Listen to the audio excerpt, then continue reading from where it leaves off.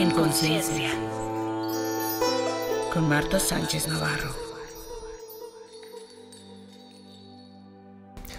Hola amigas, amigos. Qué emoción. Nuevamente en nuestro podcast semanal.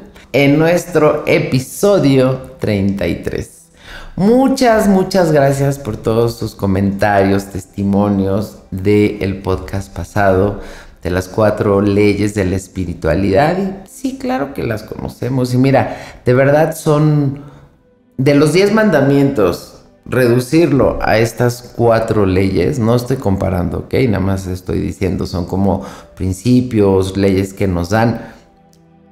Creo que tienen una claridad, no creo, estoy segura, que tienen una claridad inmensa y que nos ayudan a entender que todo es por algo y para algo, que nada de lo que nos sucede es accidental o casual o mala suerte, sino que siempre hay información detrás.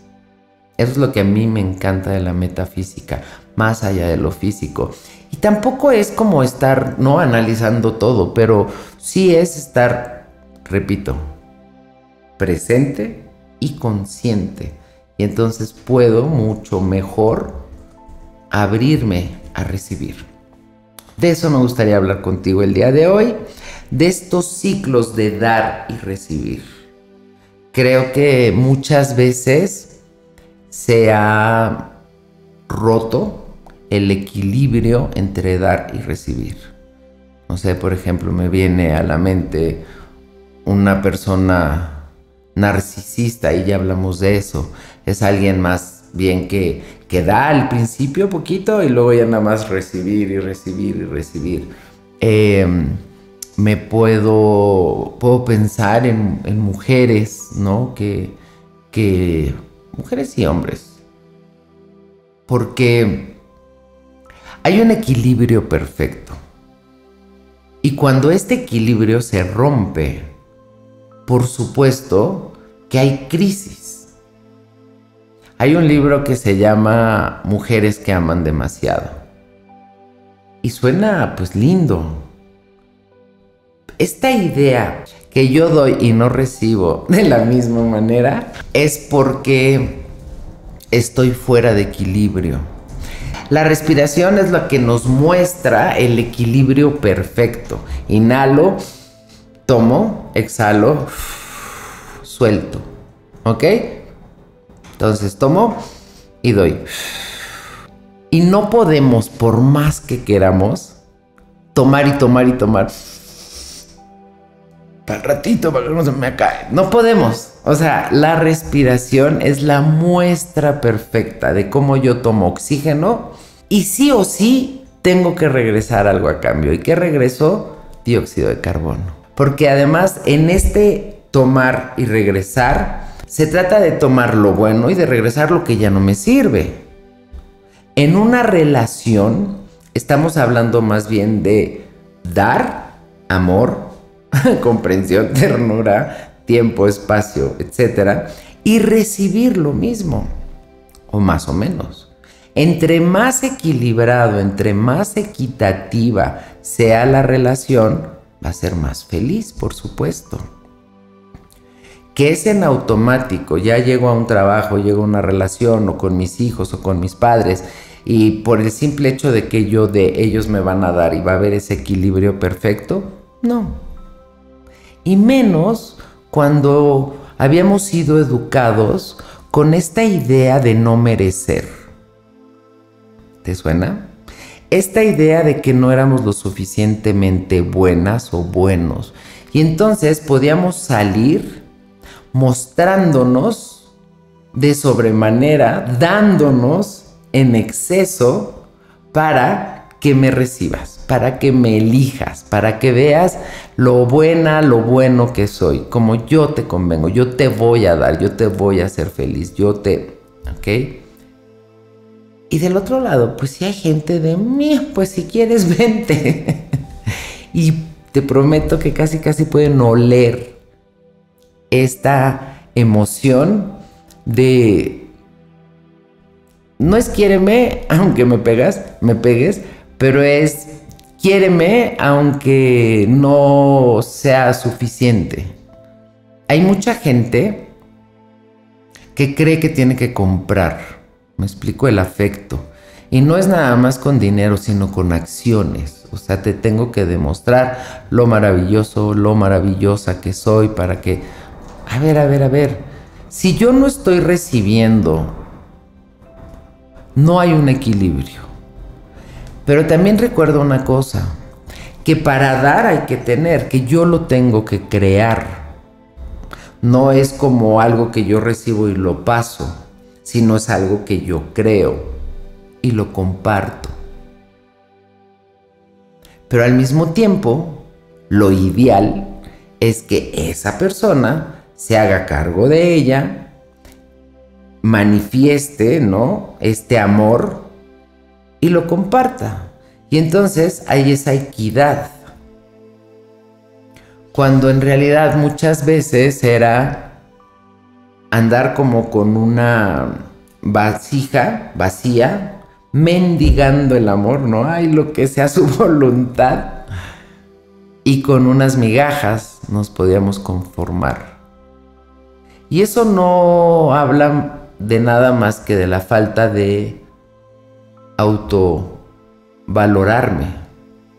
Cuando yo no me conozco, cuando yo no sé quién soy, cuando yo no me eh, valoro, entonces requiero que los demás me quieran, que los demás me valoren, que los demás me reconozcan para que yo pueda hacerlo.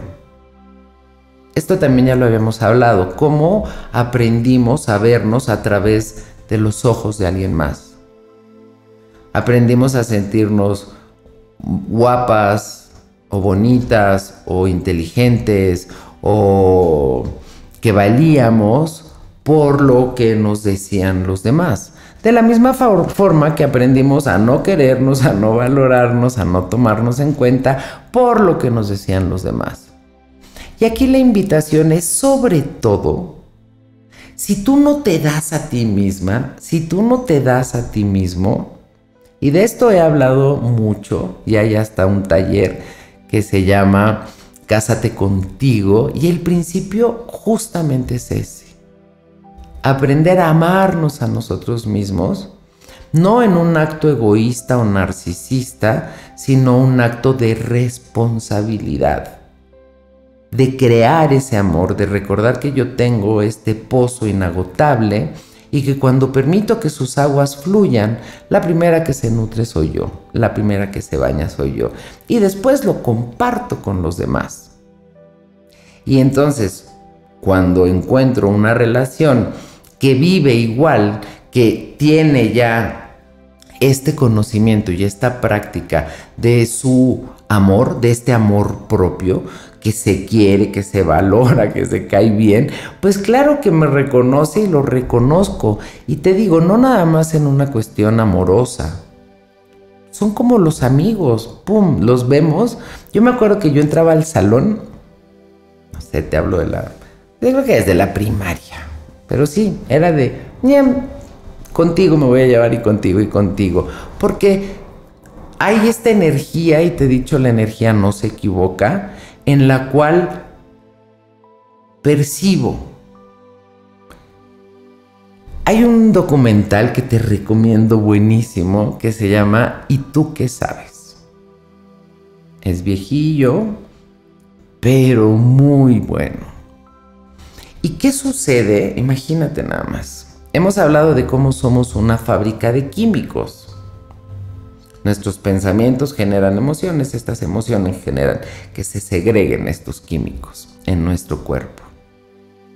Está buenísimo el documental, documental película, porque nos muestra cómo cuando vivimos una experiencia de chiquitos, o sea, eso, no eres suficientemente buena, o bueno, yo quería que fueras hombre, eres mujer, o viceversa, quería una mujer y eres un niño, este, me estoy separando, o sea, pues cada quien trae su paquetito también.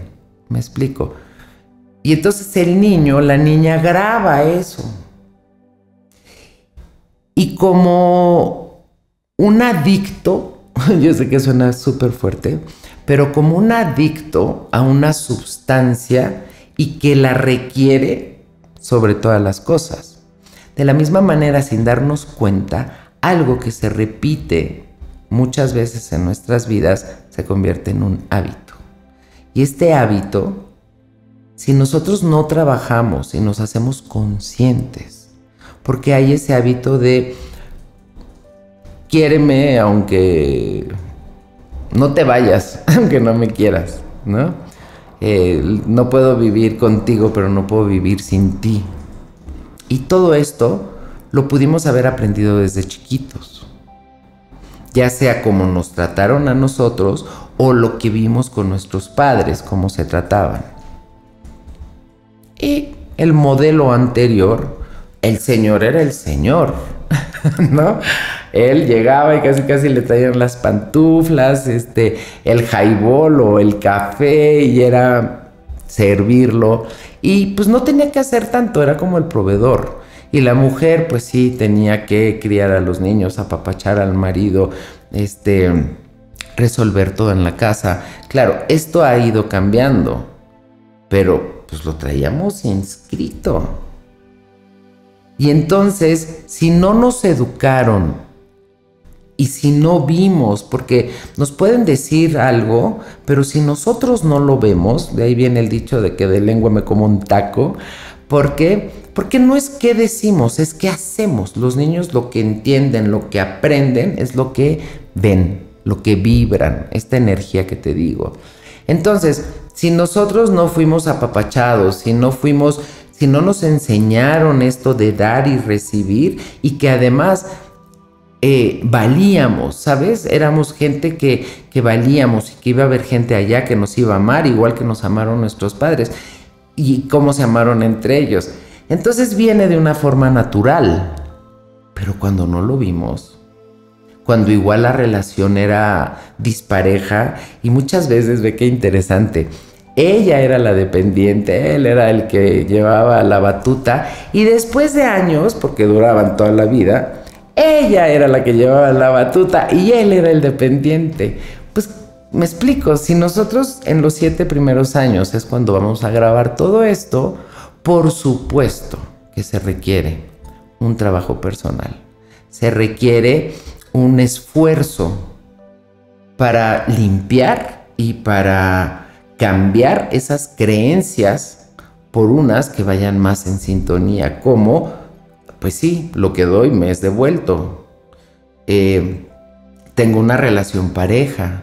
O sea, el, que si es de trabajo, sé que lo que estoy haciendo vale y sé que lo hago bien. También sé que estoy aprendiendo todo el tiempo. Me explico, no es una soberbia de, ay, yo, la maravilla.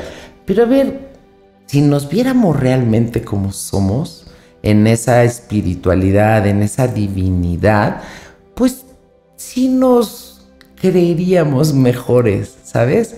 Es lo que habla el equivalión del hombre o la mujer de plomo al hombre o la mujer de oro, que es lo que somos. Pero pues no va a pasar en automático. Y mira, hasta nuestro cuerpo nos habla de este equilibrio, no nada más la respiración. Por mi lado izquierdo yo recibo, por mi lado derecho yo doy. Haz este ejercicio para que veas qué interesante y cómo es. Tómate de las manos con dos personas, tres personas, o sea, que sean más, o por lo menos en, los dos lados. Y tómate de la mano con tu mano izquierda hacia arriba, o sea, en dirección de dar, y con la mano derecha de recibir. Y vas a ver que no. Cámbialo después. Ahora tómate de las manos de la persona que tienes de tu lado izquierdo con tu mano hacia arriba en señal de recibir y con tu mano derecha hacia abajo en señal de dar y vas a ver cómo fluye la energía. Ese ejercicio es lindísimo porque me doy cuenta que sí, que el equilibrio es ese. Por mi lado izquierdo recibo, por mi lado derecho doy. Para que te acuerdes de esto, tu lado izquierdo, que es el que recibe, es el lado de tu corazón. Créeme que no es casual. Y entonces cuando nos tomamos así, vemos como si hacemos un circuito de energía. Y recuerda, la energía no se crea ni se destruye, nada más se transforma. Así es que yo te invito a poner atención en esto.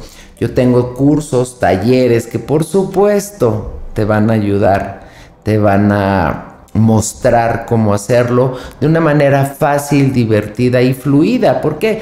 Porque a lo mejor no es lo normal, pero sí es lo natural. Te quiero recordar que justamente mañana es el taller del Kibalión, donde vamos a hablar de las siete leyes, los siete principios universales, de una forma fácil de entender y sobre todo muy práctica para usarla inmediatamente y ver que cuando yo conozco las reglas del juego, es mucho más fácil llevarlo a cabo. ¿Qué dices? ¿Te espero? Te mando un abrazo bien grande, un beso bien tronado y nos escuchamos la próxima semana. Gracias.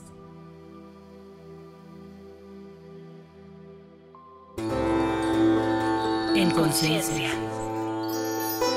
Con Marta Sánchez Navarro.